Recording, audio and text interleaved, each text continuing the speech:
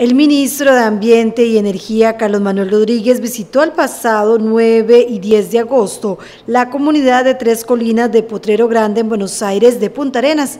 Estuvo reunido con los permisarios del Sendero Tres Colinas Cerro Camuc. En la Asociación de Turismo Tres Colinas del Corredor Biológico El Quexal Parque Internacional La Amistad afirman que fue un hecho histórico para la localidad, ya que en 50 años aproximadamente no habían tenido este tipo de visitas.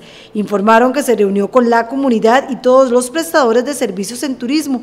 La intención era conocer el trabajo que realizan en conjunto con el Ministerio de Ambiente y Energía, los proyectos que vienen en relación a la red de senderos y trabajo en conjunto con los parques Nacional Chirripó e Internacional La Amistad. También estuvieron presentes Donald Chan, director regional del área de conservación La Amistad Pacífico, Roger González, administrador del Parque Internacional La Amistad, Laura Díaz, administradora del Parque Nacional Chirripó y Gravin Villegas del SINAC.